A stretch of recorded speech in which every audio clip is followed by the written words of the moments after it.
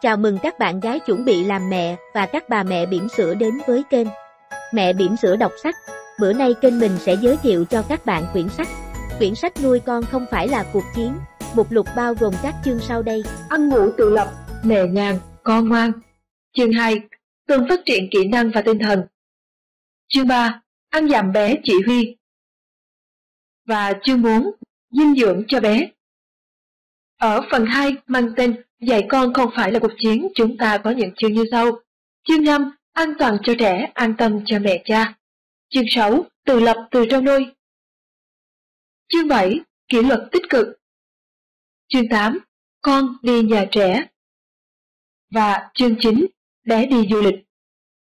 Sau đây, mời quý vị cùng đến với phần lời giới thiệu của quyển sách này. Có một thực tế ở xã hội chúng ta, đó là quá trình nuôi dạy con có nhiều nước mắt hơn bất cứ ai trong chúng ta nghĩ đến. Tất cả mọi thứ liên quan đến con, từ chuyện ăn, chuyện ngủ, cơn nặng, chiều cao đến những giọt nước mắt, những cơn ăn vạ, đều là sự phiền não cho rất rất nhiều bà mẹ. Mẹ có làm đúng hay không? Tại sao mẹ không thể giải quyết vấn đề giúp con? Mẹ biết tình sự giúp đỡ ở đâu? Làm thế nào mới là tốt nhất cho con? Đôi khi những câu hỏi đầy yêu thương này lại trở thành áp lực vô hình cho cả con lẫn mẹ. Nuôi con không phải là cuộc chiến, mang lại cho độc giả những góc nhìn và kinh nghiệm thực tế của những người mẹ để đồng hành cùng với những người mẹ khác trong hành trình nuôi con nhiều thử thách. Là phụ nữ, tôi yêu thích cách tiếp cận vấn đề của ba đồng tác giả. Trong việc muốn nuôi dạy con tốt thì phải thực sự biết và hiểu về con mình. Biết là cần phải chi tiết, ngọn ngành, phải tỉ mỉ và tinh tế. Hiểu là cần phải bao dung, tôn trọng, phải khách quan và thấu cảm. Chỉ có vậy mới là cách để mang đến hạnh phúc cho cả mẹ và con, biến con đường trở nên đầy ánh sáng và tràn ngập niềm vui, sự khích lệ. Nuôi con không phải là cuộc chiến, dạy con cũng không phải là cuộc chiến. Thực chất ra, đó là một hành trình hứa hẹn nhiều khám phá, để bạn học cách hiểu con và hiểu chính mình. Cuốn sách cung cấp các thông tin khá cụ thể về các giai đoạn phát triển tâm sinh lý của trẻ trong những năm đầu đời và có đưa ra các gợi ý để giúp các bà mẹ giải quyết những tình huống đặc biệt. Vì lẽ đó, người đọc có thể thấy cuốn sách gần gũi hơn với chính hành trình nuôi con đặc biệt của bản thân, dễ dàng nhìn thấy mình và hòa chung cảm xúc với những người mẹ khác xung quanh mình. Hãy để cuốn sách giúp bạn mở cửa, tháo bỏ những âu lo, bất lực và ức chế trong suốt quá trình nuôi con để hành trình ấy luôn là một hành trình hạnh phúc. Thạc sĩ giáo dục Ngô Thanh Giang Sáng lập viên Biz Education Lời tựa Chúc mừng bạn đã được lên chức mẹ dù cho đây có thể lần đầu tiên hay lần thứ N. Việc bạn vượt qua 9 tháng mang nặng và thời khắc lâm bồn thành công đã xứng đáng được tặng một chiếc huy chương anh dũng rồi. Giờ đây, ôm sinh linh bé bỏng trên tay, có lẽ bạn đang băn khoăn và đang trở với hàng nghìn thắc mắc. Làm thế nào để giúp bé làm quen với gia đình, bắt nhịp với cuộc sống mới lạ bên ngoài? Làm thế nào để hiểu và đáp ứng những nhu cầu của em bé sơ sinh chỉ mới biết dùng tiếng khóc làm công cụ duy nhất để giao tiếp đây? Những câu hỏi cứ liên tiếp nảy ra, bạn cuốn buồn tìm sự trợ giúp và giải đáp từ nhiều nguồn khác nhau, để rồi dễ dàng rơi vào một vòng xoáy sai lầm và một cuộc chiến mệt mỏi trong sự nghiệp nuôi con nhỏ. Những ngày đầu tiên bạn sẽ cố gắng cho bé bú liên tục nhằm kích sữa để con biết đây là mẹ. Đôi khi bạn sẽ đánh thức con dậy để cho con bú khi thấy bé ngủ lì bì, vì bạn sợ bé ngủ quá sẽ bị đói. Bạn liên tục tự hỏi, con bú ít thế có đói không? Mình đánh thức thế có sao không? Con có ngủ được không? Con có nóng không? Con có lạnh không? Và làm thế nào để con tăng cân nhanh nhất có thể? Con tăng cân thế có chậm so với anh chị em hay con nhà hàng xóm hay không? Khi được 4 tháng tuổi, tự nhiên bạn thấy con bú ít thẳng con cáu gắt, con ngủ không yên, con dậy đêm nhiều lần. Bạn nghĩ là con đói, hốt hoảng cho con bú mỗi giờ, con quấy khóc, chỉ có ti mẹ hai ti bình con mới chịu. Và chỉ khi ngủ con mới chịu ăn, mỗi giấc ngủ của con chỉ kéo dài 30 phút, rồi con tràn dậy và kích động như chưa bao giờ được nghỉ ngơi. Đêm con dậy liên tục, con đòi bú, bạn nghĩ con ngày bú ít chắc cần bú bù. Cả đêm bạn chẳng được ngủ vì phục vụ tiếp dưỡng cho con, mẹ mệt và cảm giác càng ngày còn càng khó tính. Sáu tháng con bắt đầu ăn dặm, con cứ nhẹ chẳng ăn được bao nhiêu. Bạn quyết cho con nằm ngửa ra bón để chờ trọng lực của tự nhiên, giúp thức ăn rơi vào bụng con. Sữa cũng vậy, cách duy nhất để uống sữa là nằm ngửa đút thìa, hay tệ hơn là uống bằng xi lanh. Con vẫn quấy khóc, đêm dậy liên tục, bạn nghĩ những đêm mất ngủ có lẽ sẽ kéo dài vô tận. 9 tháng, cân nặng của con mãi không tăng, con cự tuyệt và sợ hãi với thức ăn, Mẹ phải bón cho con từng thìa mà con còn ngúng ấy. Bạn thấy thất vọng và bất lực với con mình. Bạn đọc hơn trăm trang tài liệu ăn dặm, các loại tay tàu nhập thổ, nhưng dường như con bạn là đối tượng không phù hợp với bất cứ phương pháp nào. Mười mấy tháng sau khi con chào đời, bạn những tưởng con càng lớn sẽ càng dễ. Nhưng không, mọi sự trở nên khó hơn. Lúc này, mỗi bữa ăn bạn phải cho con ra đường đi dạo, phải cho ra sân chơi, phải có đời chơi nếu con ngồi ghế. Đi ăn nhà hàng là một cơn ác mộng, con có thể đòi hỏi nhiều điều không tưởng và bạn đáp ứng vô điều kiện, miễn là con ăn. Cuối cùng con ăn cũng chả đáng bao nhiêu, rồi con ăn vạ, con khóc, con dọa nôn ra thức ăn, và thế là bạn lại tìm mọi cách thực hiện yêu sách, miễn là con không ăn vạ, con không nôn, kẹo con lại sụp cân. Bạn những tưởng qua mất một tuổi, con sẽ có thể cho bạn một giấc ngủ nguyên đêm. Nhưng không, con vẫn thức dậy vài lần, mỗi đêm trằn trọc không ngon giấc. Bạn đi khám mọi bác sĩ dinh dưỡng, uống đủ các loại men tiêu hóa, và cảm giác bất lực càng thêm bất lực vì bạn không thể thay đổi tự nhiên, không thể làm con béo hay ngủ ngoan lên. Hơn thế nữa, lúc nào bạn cũng cảm thấy như có thêm cái đuôi bất đắc dĩ. Bạn vừa chạy ra ngoài 5 phút thì ở trong phòng đã nghe tiếng khóc nức nở. Bạn đi vào nhà tắm làm công tác bí mật cũng phải có khán giả bất đắc dĩ, vừa nhăm mũi vừa nhăm nhăm trèo lên lòng. Lâu hơn chút, bạn cảm giác như mình có thêm ông vua bà chúa con trong nhà. Thích gì là phải có ngay lập tức, trái ý là lăn đùng ra đất giải dụa, tiếng khóc ác tiếng bom, thậm chí còn già đập đầu vào tường. Càng ở chỗ đông người thì bạn càng được nghe ca nhạc kịch với âm lượng quá tải. Bạn thường xuyên trong tâm trạng lo sợ con ngã, con khóc, đôi khi bạn cảm thấy xấu hổ khi thấy người đi đường ngoái lại nhìn, rồi xì xào nên lại chạy ra bế, ra ôm và lại đáp ứng mọi nhu cầu của thượng đế tí hon. Hay thỉnh thoảng khi con bị ngã, bạn liền lập tức ra tay đánh chừa này. Đôi khi ông bà cha mẹ lại được con phát miễn phí vài cái tát hay vài dấu răng trên tay, trên vai. Những tưởng lớn dần bạn nói con sẽ hiểu, thế nhưng đời không như mơ, một ngày đẹp trời, thiên tiền nhỏ của bạn chỉ biết nói duy nhất từ không đối với tất cả những gì bạn yêu cầu hay đòi hỏi ở con. Tắm xong thì nhất quyết không chịu mặc quần áo, không chịu ngồi yên một chỗ để ăn, không chịu cất đồ chơi. Bạn nói nhẹ không được, chỉ qua nói nặng, rồi ép buộc, rồi già nạp. Thế là ngôi nhà biến thành trận chiến, nơi có tiếng la hét, quát tháo của mẹ và những cơn nức nở của những đứa con. Nếu bất cứ trường hợp nào trên đây giống như những gì xảy ra ở gia đình bạn, cuốn sách này là dành cho bạn. Cuốn sách không là cẩm năng để bé ăn nhiều, tăng cân nhanh hay dạy bé nghe lời răm rắp, mà giúp bạn hiểu con mình hơn, giúp bạn hiểu chu kỳ sinh học của con và cách phối kết hợp cuộc sống gia đình với chu kỳ sinh học đó của bé. Hơn thế, cuốn sách còn hướng dẫn bạn cách cho con ăn khi đói, các thông tin kinh nghiệm và các trường hợp thực tế áp dụng thành công của những bà mẹ tuyệt vọng khác, giúp bạn có thông tin cũng như nghị lực thay đổi cách áp dụng nuôi dạy con ở gia đình. Suy cho cùng, nuôi không hẳn đã khó, đến đoạn dạy con còn khó hơn nhiều. Cuối cùng, đây là kinh nghiệm đặt những khuôn khổ hợp lý cho từng lứa tuổi, là bài học về tôn trọng trẻ thơ trong những khuôn khổ ấy. Nó sẽ làm kinh nghiệm, làm mẹ của bạn ngọt ngào hơn và tránh cho con một tuổi thơ nước mắt bên bát cơm. Chúc các bạn thành công. Bù bù hương, mẹ ông bông, Hatulionet.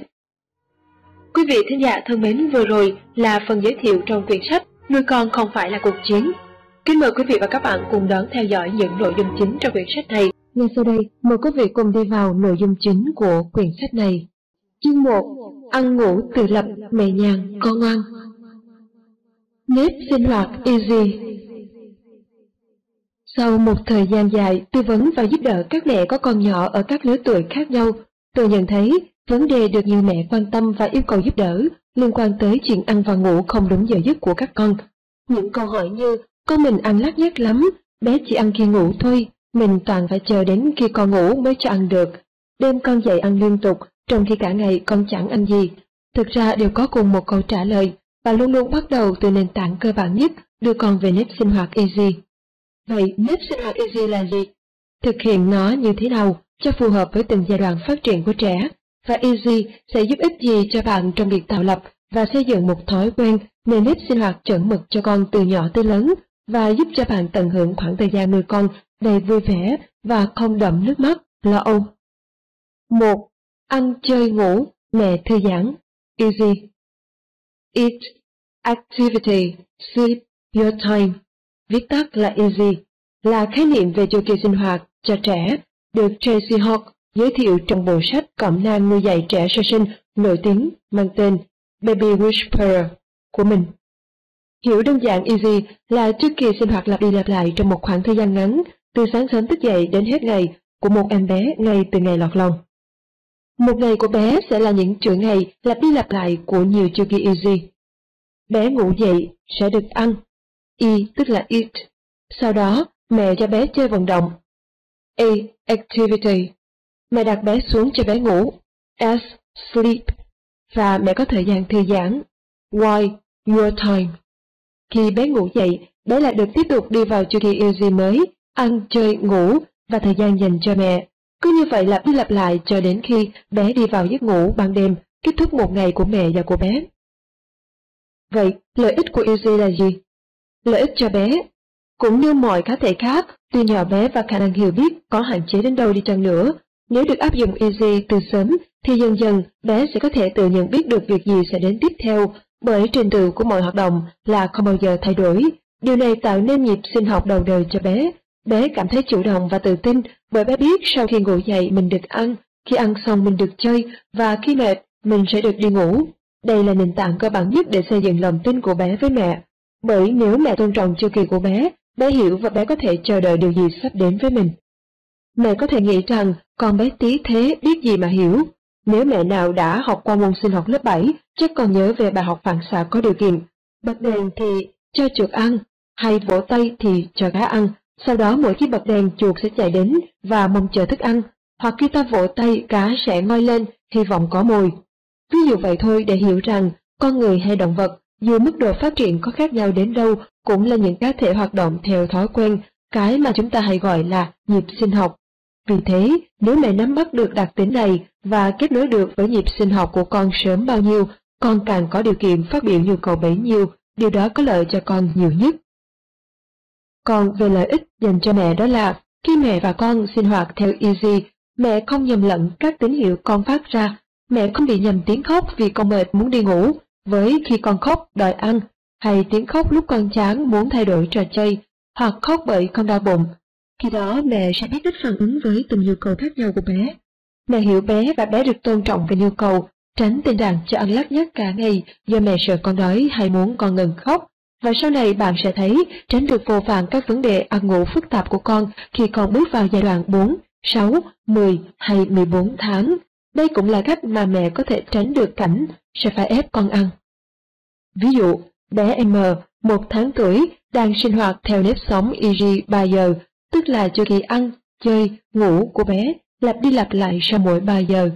Bé sẽ được ăn, sau đó được ở hơi, mẹ sẽ thay điểm cho bé. Có thể cho bé đi tắm nắng, massage hay cho bé tập nằm sấp. 45 phút sau khi ăn, tự nhiên bé khóc và rấm rứt không yên.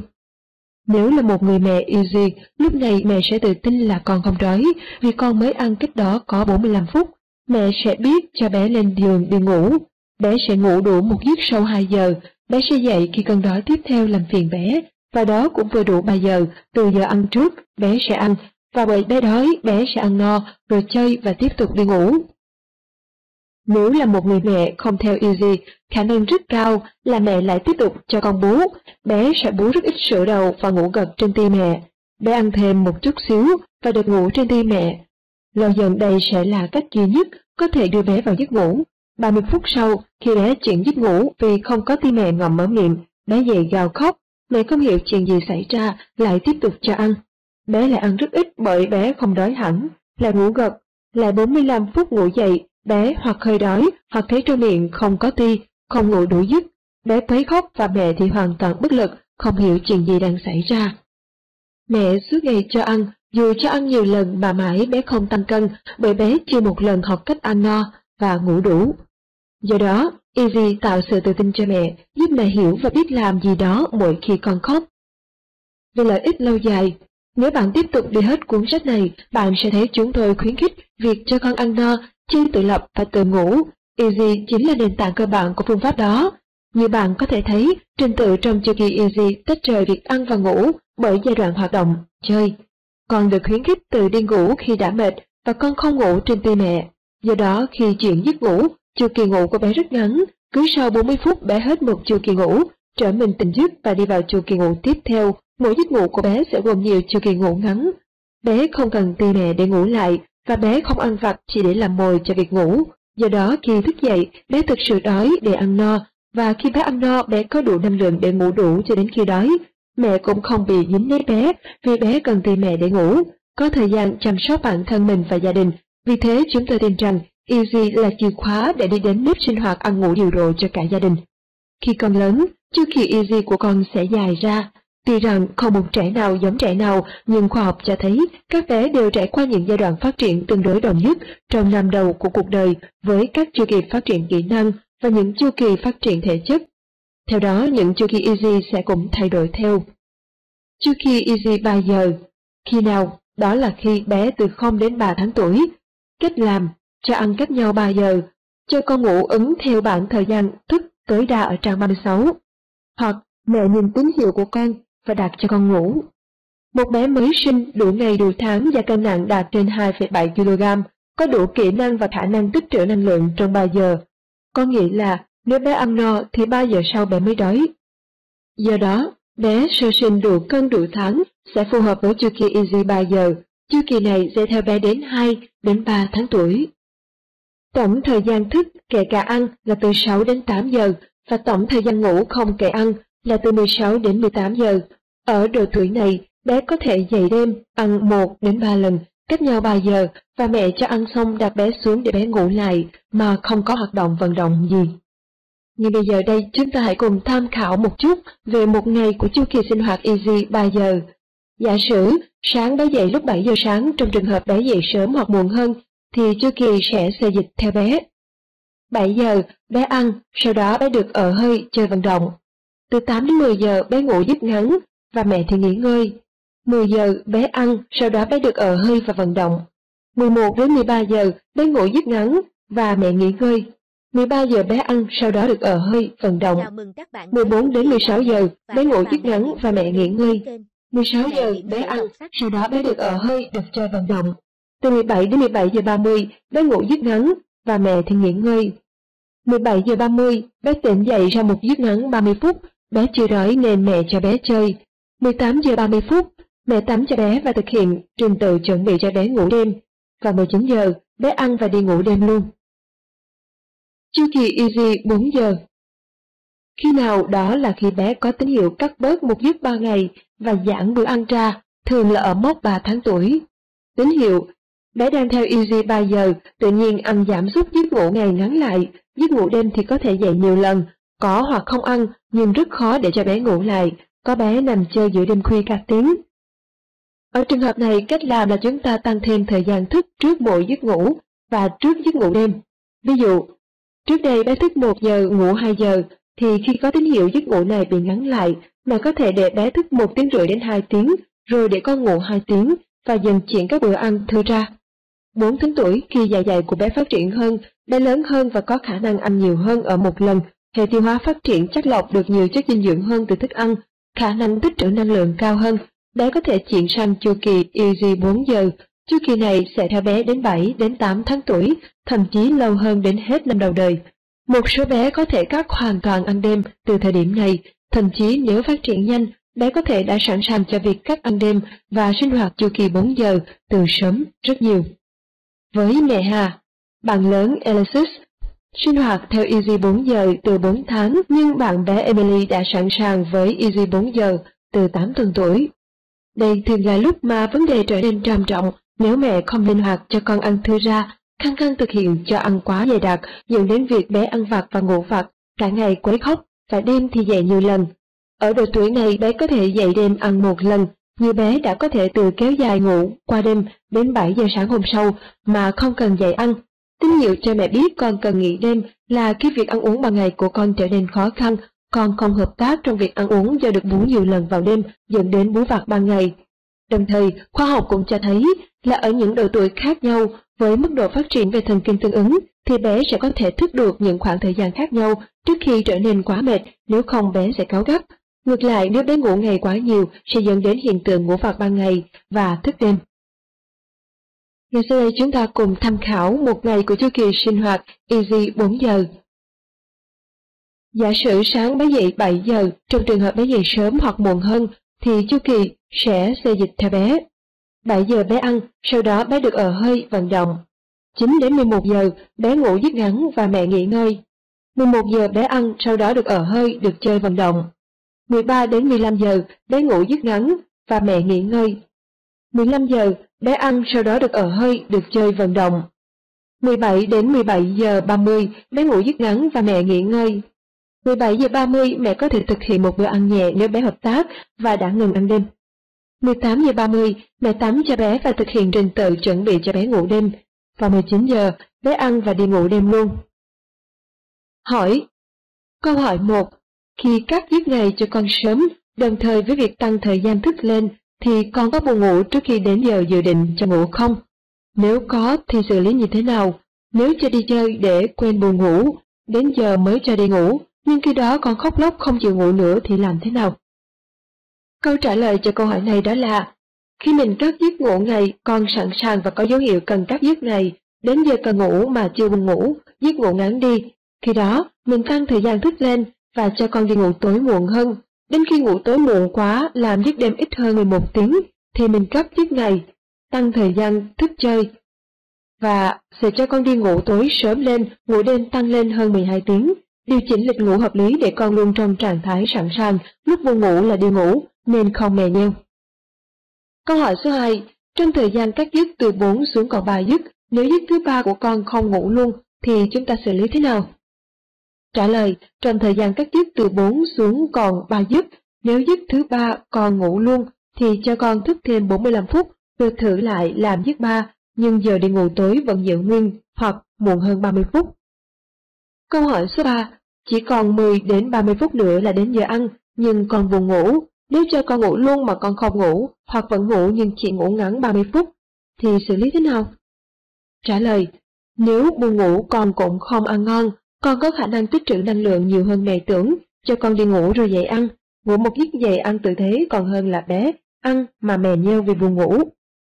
Câu hỏi số 4. Con chỉ ngủ 30 phút, ngoài các nguyên nhân từ phía mẹ có nguyên nhân nào xuất phát từ bản thân con không? Trả lời cho câu hỏi này, nếu không phải từ phía mẹ hoặc tác động bên ngoài mà con chỉ ngủ được các giấc ngắn, thì có khả năng con bị yếu thần kinh và không có khả năng tự chuyển giấc mà không bị thức giấc. Tuy nhiên với những bé biết tự ngủ thì khả năng con ngủ lại cao hơn những bé cần ti mẹ, ti giả, vỗ, vân vân. Easy 2, 3, 4 Khi nào? Khi bé có tín hiệu muốn bỏ một giấc ngắn 3 ngày, ngày bé chỉ ngủ 2 giấc. Tín hiệu, ngày cho ăn cách 4 giờ còn vẫn nhở nhơ, chưa đói và không ăn hết suốt. Ngày ngủ rất ngắn, có nhiều giấc 30 đến 45 phút, tối có thể khó ngủ, ngủ muộn, đêm lại dậy, có thể đêm đòi ăn, hoặc nếu không đòi ăn thì nằm chơi cả buổi giữa đêm khuya mà không ngủ lại ngay.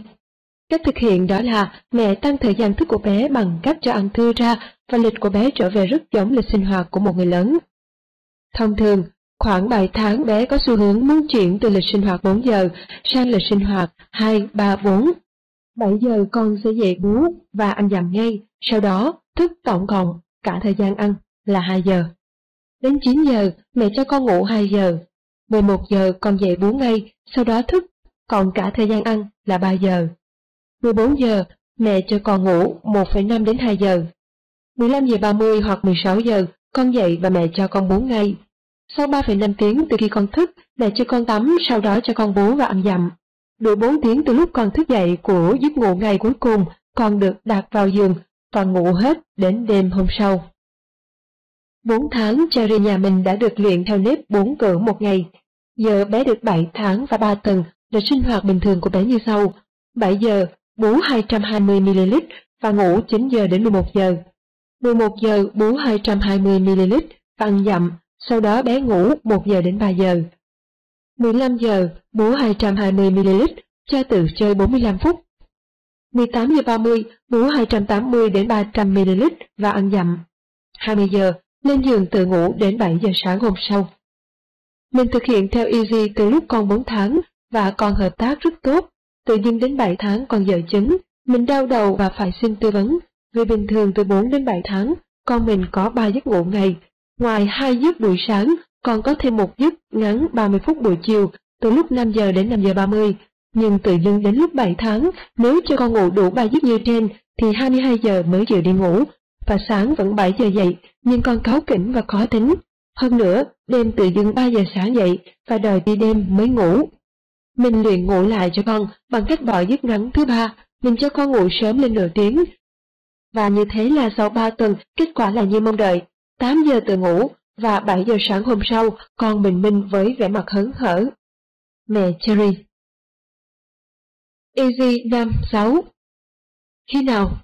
Thì nó có tín hiệu muốn bỏ một giấc ngắn ba ngày, ngày bé chỉ ngủ một giấc buổi trưa. Tín hiệu, ngày ngủ rất ngắn, cả hai giấc 30 đến 45 phút. Tối nếu ngày ngủ dài có thể khó ngủ, ngủ muộn, đêm lại dậy đêm, có thể đêm đòi ăn, hoặc nếu không đòi ăn có thể nằm chơi cả buổi giữa đêm khuya mà không ngủ lại ngay. Cách thực hiện là tăng thời gian thức của bé, giảm thời gian ngủ giấc đầu xuống cho đến khi có thể cắt giấc này và chuyển về cho bé ngủ trưa, một ngày của chu kỳ năm sáu như sau. Giả sử sáng bé dậy 7 giờ, trong trường hợp bé dậy sớm hoặc muộn hơn, thì chu kỳ sẽ xê dịch theo bé. 7 giờ ngủ dậy uống sữa ngay và được ăn nhẹ buổi sáng. 11 giờ 30 sẽ ăn trưa, 12 giờ thì ngủ trưa. 14 giờ 30, bé dậy uống sữa và ăn nhẹ, không nên cho ăn quá nhiều bữa này. 18 giờ 30 đến 19 giờ bé ăn tối, đánh răng, làm vệ sinh cá nhân, đọc truyện. Đến 19 giờ 30 sẽ đi ngủ giấc đêm. Hỏi, bé nhà tôi được 10 tháng 3 ngày, đang ngủ 2,5 đến 3 tiếng, đêm thì 11 tiếng. Dạo này mỗi đêm bé dậy 2 đến 3 lần, có đêm dậy 30 phút 1 giờ sau mới ngủ lại được. Ba ngày thì có hôm chị ngủ giấc sáng từ 8 giờ 30 đến 10 giờ, giấc trưa lúc 13 giờ không ngủ, mà đến tầm 16 giờ dỗ mới ngủ, có phải đây là một dấu hiệu bé muốn chuyển một giấc không? Nếu chuyển thì chuyển đột ngột luôn, hay là chuyển bằng cách nào, tăng thời gian thức lên dần dần? Đáp Đúng là bé muốn chuyển còn một giấc ngủ ngày, giấc sáng bằng kéo dài thời gian thức mỗi ngày lên 30 phút, cho con đi chơi, đi tắm. Sau 16 giờ không cho ngủ nữa, tối cho đi ngủ sớm 30 đến 45 phút, vì khi cắt một giấc thì tầm 16 đến 17 giờ còn rất buồn ngủ. Tóm lại, cái tín hiệu mà con gửi mẹ cần biết Ba ngày con lười ăn không nhiệt tình, đó là dấu hiệu con chưa đói. Thay vì ép con ăn, lần sau mẹ hãy cho con ăn muộn hơn. Khi thức con lười bú, đến khi buồn ngủ tha thiết muốn bú, bú vài mút lăn ra ngủ luôn, con không đói, con cần cái ti để trấn an con vào giấc ngủ. Lần sau mẹ hoặc cho con ti giả, hoặc dạy con ngủ, hạn chế dùng ti vì điều đó không tốt cho răng mà còn tạo thói quen ngủ phụ thuộc. Khi ban ngày con bú ít, đêm con bú nhiều hơn ngày. Ban ngày con chưa đói, con chỉ nạp năng lượng vào ban đêm. Là một bà mẹ thông thái sẽ điều chỉnh bằng cách giảm dần lượng ăn ban đêm của con và các hạn nếu cần cho đến khi thấy lượng ăn và thái độ ăn tích cực của con ban ngày. Khi bình thường con đang bú, ví dụ 200ml, tự nhiên giảm còn 160ml, thậm chí còn 100ml, mà thái độ vẫn nhận nhơ, đêm có thể dậy hoặc không. Mẹ thông thái sẽ cắt hết bú đêm, giảm bớt một bình vì ban ngày con chưa đói, nếu con đói thì con sẽ bú đến no 200ml ban đầu và có thể nghiên cứu thêm việc giảm một giấc ngủ ngày, chuyển chu kỳ 3 giờ sang 4 giờ hay sang chu kỳ 2, 3, 4. Với các bé bú mẹ hoàn toàn mà tự nhiên ngủ vặt, đó là tín hiệu mẹ cần cho bú thưa ra và cắt một giấc ngủ ban ngày. Ngoài ra, với bé bú bình, khi con bú hết sạch bình, con gửi cho mẹ tín hiệu, mẹ cần pha thêm cho con ít nhất 30ml ở lần bú sau. Cuối cùng đó là các ăn đêm.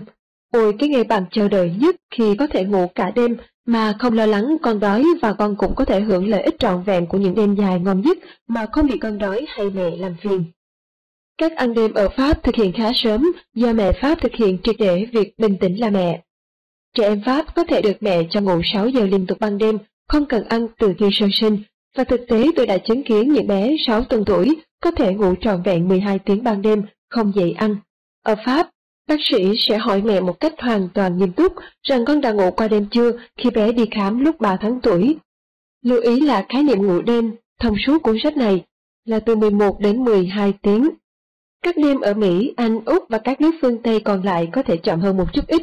Các mẹ phương Tây áp dụng phương pháp là Baby Wise có thể khuyến khích bé ngủ 12 giờ đêm liên tục không dậy từ 8 đến 12 tuần, trong khi các mẹ áp dụng Baby Whisperer có thể chờ muộn hơn đến 6 tháng tuổi. Dù sớm hay muộn, điều mà chúng tôi nhấn mạnh nhất ở đây là hãy quan sát con của bạn. Hãy nhìn con để biết khi con sẵn sàng, ban ngày ăn rất ít, chờ đến đêm ăn, và khi con sẵn sàng mong các bạn kiên nhẫn và tôn trọng các bước phát triển của con.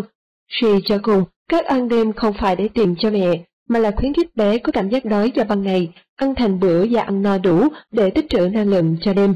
Sau cùng là để con hưởng lợi ích của một đêm dài trọn vẹn ngủ 12 tiếng, vì khi ngủ cơ thể con xây dựng các tế bào thần kinh giúp con phát triển tốt nhất về kỹ năng, trí não và tinh thần. Học cách đọc tín hiệu của con Sau khi đã biết về nếp sinh hoạt easy, bạn cần phải học cách đọc vị tiếng khóc của con. Khóc là hình thức giao tiếp đầu tiên và duy nhất của trẻ sơ sinh cho đến 9 tháng tuổi, và mỗi nhu cầu của con lại có một hình thức khóc khác nhau.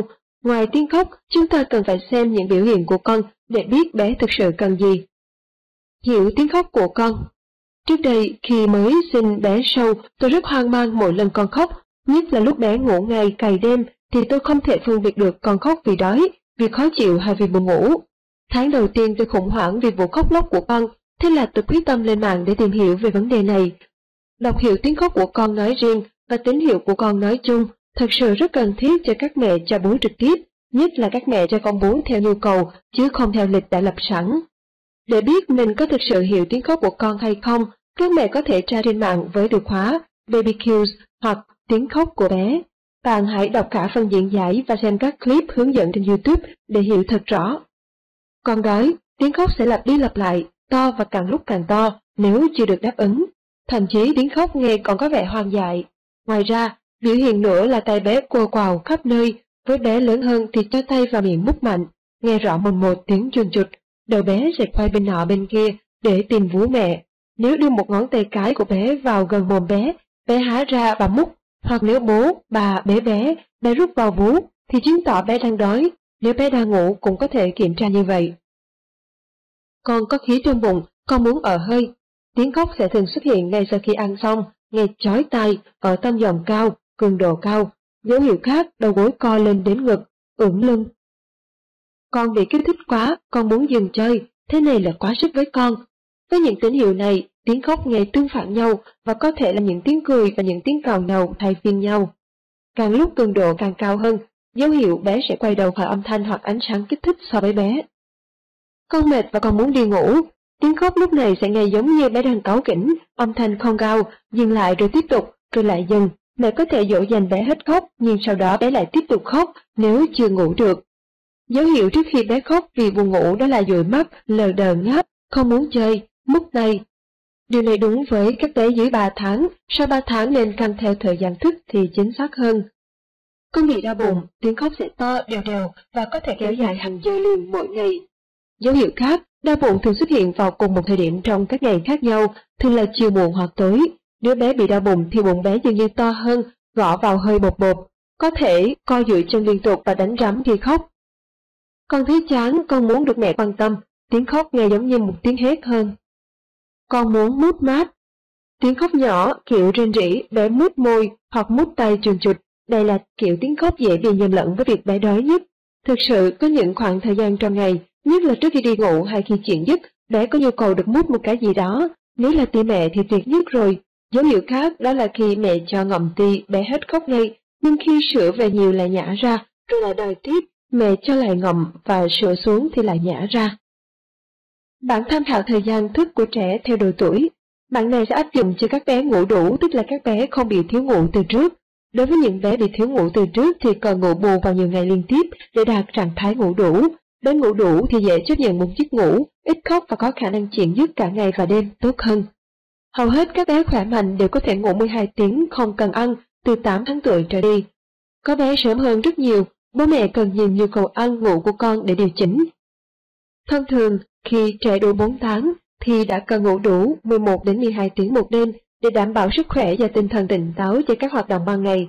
Điều này đúng với khoảng 75% trẻ, khoảng 10% trẻ cần ngủ nhiều hơn từ 12 đến 13 giờ và phần còn lại còn ít hơn 10 đến 11 giờ. Thời gian này không kể thời gian mẹ cho con bú đêm. Trên bảng, cột giấc ngủ cuối nên kết thúc lúc được dành cho các bé có nợ ngủ, tức là trước không ngủ đủ giờ phải ngủ bù. Mẹ không để bé ngủ quá thời điểm này, kêu bé lại đi ngủ đêm muộn. Ngủ đêm muộn làm lệch đi nhịp sinh học của bé, và làm cho bé khó ngủ hơn và dễ dậy đêm. Một số trẻ 6 tháng trở ra cần dậy lúc 15 giờ 30 phút để đảm bảo đi ngủ sớm ban đêm. Thời gian các giấc ngày 3 đến 5 tháng là từ 4 giấc còn 3 giấc, 5 đến 8 tháng từ 3 giấc còn 2 giấc, 13 đến 18 tháng từ 2 giấc còn 1 giấc. Thời gian chờ để phản ứng khi con dậy đêm hoàn toàn phụ thuộc vào việc con dậy đêm thế nào. Thời gian chờ tối thiểu là 10 đến 15 phút, đảm bảo cho con đủ thời gian để có thể tự ngủ lại vào giấc sâu. Sau đó thời gian đó bé chưa ngủ lại, mẹ tùy theo tính tình của trẻ và hoàn cảnh gia đình để giúp bé đi vào giấc ngủ tiếp. Bố mẹ nên nhất quán trong cách cho con ngủ thì sẽ không mất nhiều thời gian để bé có thể đi vào giấc sâu. Bởi vì khi trẻ lớn lên, nếu bố mẹ không nhất quán thì bé sẽ hiểu là nếu khóc mãi thì bố mẹ sẽ phải thua mình. Giai đoạn ARA ARA là từ viết tắt của từ awareness, nhận thức mơ hồ, rejection, từ chối, acceptance, chấp nhận. mỗi khi thay đổi nếp sinh hoạt, ví dụ từ nếp 4 giờ sang 234, hoặc từ 234 sang 56, luyện từ ngủ, giảng cử, cai ti đêm, cai sữa, thì bé đều trải qua giai đoạn ARA này. Thông thường, giai đoạn này kéo dài khoảng 1 đến 2 tuần, có bé cá biệt lên đến 3 tuần. Để bạn hình dung cho dễ, xin lấy ví dụ việc luyện bé từ ngủ. Ngày 1 có thể sang cả ngày 2 là giai đoạn mơ hồ, awareness. Bé chưa nhận thức rõ việc mình sẽ phải không có tia mẹ hay cánh tay đung đưa để hỗ trợ đi vào giấc ngủ nữa, nên khi mẹ đặt xuống, nếu căn đúng thời gian thức ngủ, thì bé chỉ khóc một lúc là đi vào giấc ngủ. Ngày thứ hai, thứ ba, thứ tư có thể kéo đến ngày thứ năm, thứ sáu là giai đoạn từ chối hay phản kháng, sang ngày sau rồi vẫn thấy mẹ cắt thi hoặc mẹ không rung lắc bé nhận ra sự thay đổi và phản kháng bằng cách khóc dữ hơn, dài dặn hơn. Đây là thời điểm khiến các mẹ bối rối và hoang mang nhất, vì sau ngày thứ nhất hoặc thứ hai, mẹ cứ nghĩ luyện ngủ thành công rồi, thì bỗng nhiên con lại như thế. Mẹ không nắm rõ sợ mình sẽ làm sai, hoặc nghĩ con làm sao, nhất là về mặt tâm lý. Đây cũng là thời điểm mẹ không kiên trì, dễ bỏ cuộc nhất. Ngày thứ sáu và thứ bảy hoặc ngày thứ tám, thứ chín, thứ mười là giai đoạn chấp nhận, acceptance. Bé hiểu ra rằng gào khóc cũng không làm thay đổi quyết định của mẹ, nên chấp nhận ngủ mà không cần ti hay bế. Mẹ đặt vào giường bé, ê a một lát là từ chìm vào giấc ngủ. Khi bạn cho bé thay đổi bất cứ một thói quen sinh hoạt nào, bé cũng sẽ xuất hiện các giai đoạn ARA như vậy. Mẹ cần tỉnh táo và kiên trì để những nỗ lực của cả mẹ và con không phí hoài vô ích. Câu chuyện của Emily áp dụng Easy từ ngày mới sinh. Mẹ Hà rút kinh nghiệm từ Alexis nên áp dụng Easy ngay từ ngày Emily mới chào đời. Việc đầu tiên cần làm là cho em vào một trình tự sinh hoạt. Do em sinh đủ tháng và nặng 3,4 kg nên em phù hợp với trình tự sinh hoạt 3 giờ mỗi lần. Em bị đảo lộn ngày đêm, ngày ngủ, đêm thức khóc, nên mẹ em nhất định tìm cách đổi lại. Mẹ làm như sau. Ban ngày mẹ cho em ăn cách nhau 3 tiếng, mặc định 7 giờ là bắt đầu ngày mới. 7 giờ mẹ gọi em dậy cho em bú. Mấy hôm đầu em không bú no vì em chưa đói mà buồn ngủ. Sau khi cho em bú, mặc dù ngủ gật nhưng mẹ vẫn cố gắng giữ cho em thức được thêm bằng cách thay quần áo ngủ sang quần áo ban ngày, đặt em vào ghế để em xem màu và nghe nhạc. Activity không thấy em trong thời gian này. Khi được 40 phút kể từ thời gian từ lúc em dậy, 7 giờ 40, hoặc khi mẹ thấy em ngáp cái đầu tiên, mẹ quấn em lại để tay em được giữ khỏi giật mình và cho em vào giường. Thông thường em nằm trên giường khoảng 15 phút là em sẽ tự ngủ. Hôm đầu em có khóc tí ti, mẹ chờ 5 phút vào cho em ngậm ti giả và ở cùng em 2 phút, sau đó mẹ ra để em một mình xoay sở. Sau vài phút thì em cũng lăn ra ngủ.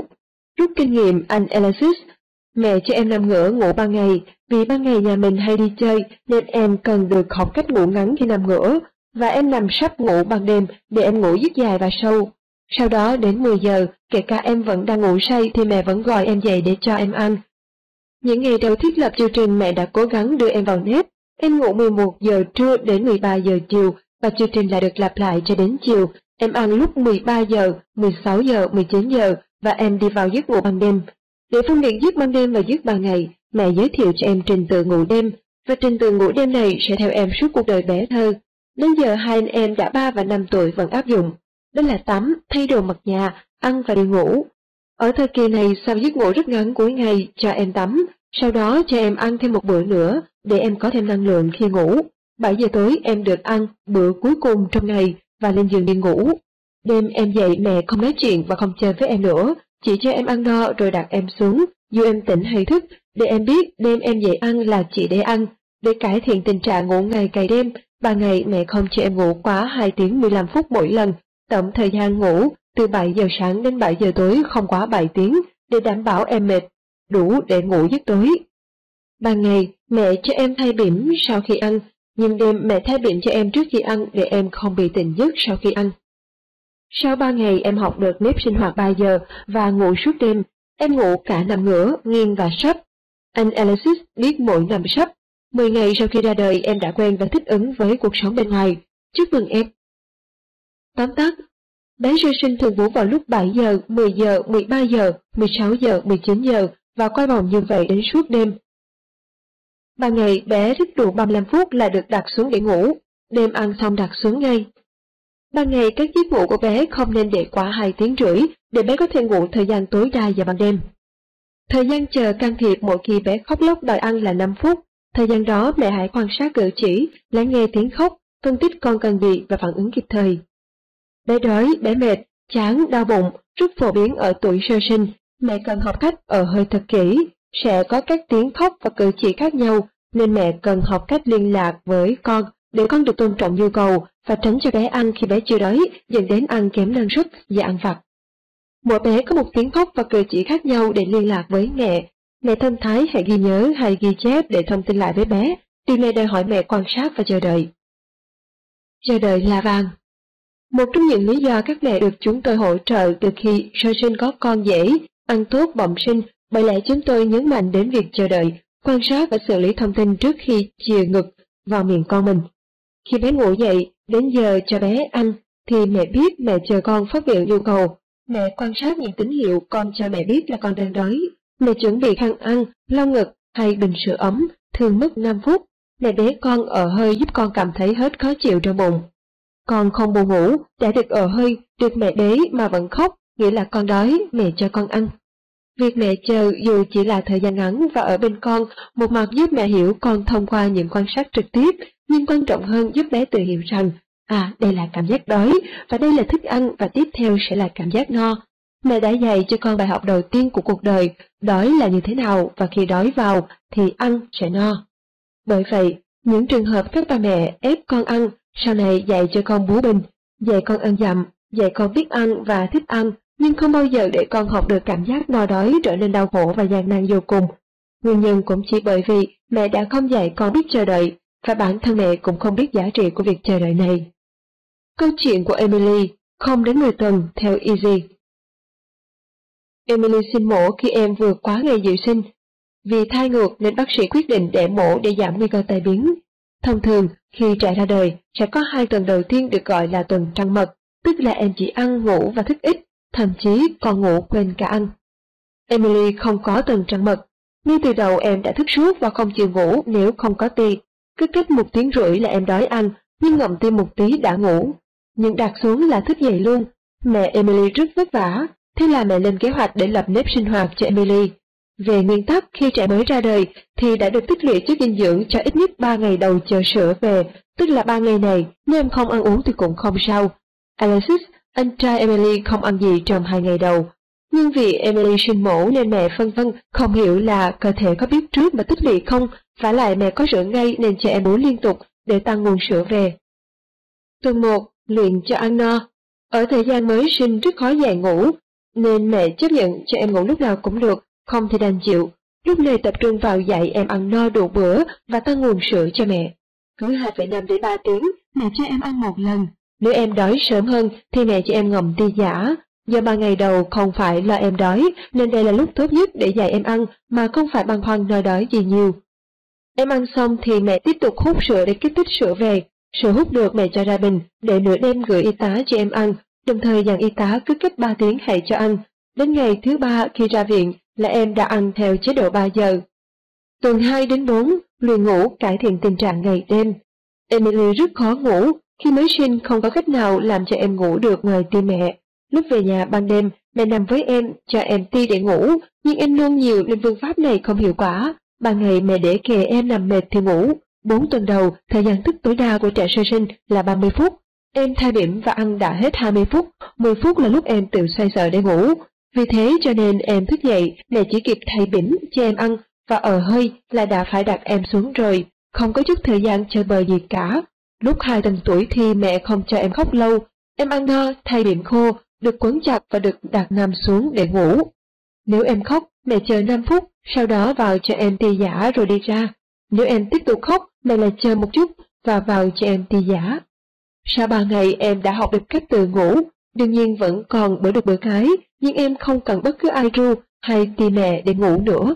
Đêm mẹ cho em ăn xong mà em vẫn còn thức, thì mẹ có thể tự tin đặt em xuống và mẹ đi về phòng để em tự ngủ mà không phải lo lắng gì cả, mặc dù mẹ vẫn theo dõi em qua máy báo khóc. Đây cũng là thời gian các em bị lẫn lộn ngày đêm, Do đó ban ngày, mẹ hạn chế các giấc ngắn của em không quá 2 tiếng rưỡi, thường cứ 2 tiếng mẹ gọi em dậy cho ăn, đêm mẹ để em ngủ thoải mái và sau 2 tuần, em đã cho mẹ được giấc đêm dài 4 tiếng. Tuần 4 đến 6, siêu cáo kỉnh. Tuần này thành phần sữa của mẹ thay đổi, cơ thể em cũng thay đổi, em khóc nhiều và nôn nhiều hơn, em ngủ kém hơn vào ban ngày, giấc ngủ rất ngắn. Tuy nhiên về đêm em bắt đầu kéo dài giấc ngủ đêm.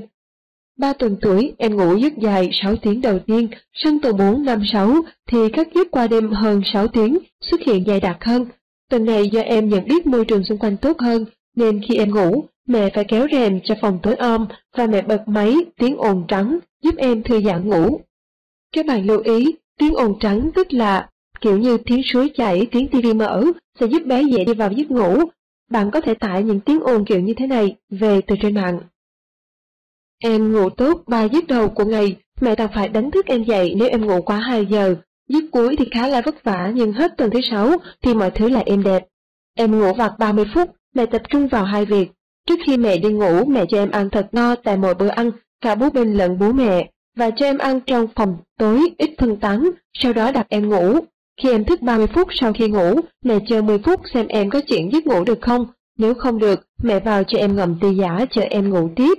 Khi em bắt đầu học chuyện giấc nhịp nhàng, tức là khi em chuyển giai đoạn ngủ, dù em có bị thức dậy em cũng tự tìm cách ngủ lại được, mà cần ít sự trợ giúp từ mẹ hay từ tì giả, cũng là lúc em ngủ đêm dài ra. 6 tuần giấc đêm của em đã kéo dài 8 giờ không cần dậy ăn. Thời gian này giờ ngủ của em còn khá muộn, là 8 giờ tối. Em thức dậy hai lần để ăn, một lần lúc 3 đến 4 giờ sáng và một lần lúc 6 đến 7 giờ sáng. Ngày của em bắt đầu từ 8 đến 9 giờ sáng. Tuần 7 đến 10, thật tuyệt vời em tự ngủ 100% các giấc ngày và đêm mà không còn khóc nhiều nữa.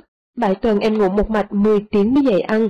Ăn đêm xong, dù thức hay ngủ, thì em vẫn có thể tự xoay sở được, nên thời gian mẹ thức với em ban đêm ngắn lại, còn 15 phút một lần, và một lần một đêm. Việc luyện nề nếp ăn ngủ cho bé là không đơn giản, nhưng với phương pháp phù hợp, thì hầu hết các bé đều có thể học được cách ngủ, và sẽ ngủ đủ giấc nếu mẹ giúp em tạo các điều kiện thích hợp. Alexis không biết từ ngủ cho đến tận tuần thứ 10. Mẹ mất 1 đến 2 tháng vất vả để đưa Alexis vào nếp, để Alexis ngủ đủ giấc. Với Emily, dù sức phát triển không tốt như Alexis, khó ngủ nương nhiều, nhưng do mẹ tìm hiểu, hướng dẫn em sớm hơn, nên 7 tuần tuổi em đã ngủ được 14 tiếng một đêm, dậy ăn một lần. Các giấc ngủ dài là điều kiện cho các bé phát triển trí não, bé cũng học được nhịp sinh học phù hợp và do đó tập trung việc nạp năng lượng vào ban ngày. Chúng ta vừa kết thúc chương 1A của quyển sách nuôi con không phải là cuộc chiến. Mời các mẹ bỉm sữa đón xem phần tiếp theo ở kênh mẹ bỉm sữa đọc sách. Các bạn có chia sẻ gì bình luận bên dưới nha. Cảm ơn các bạn nhiều.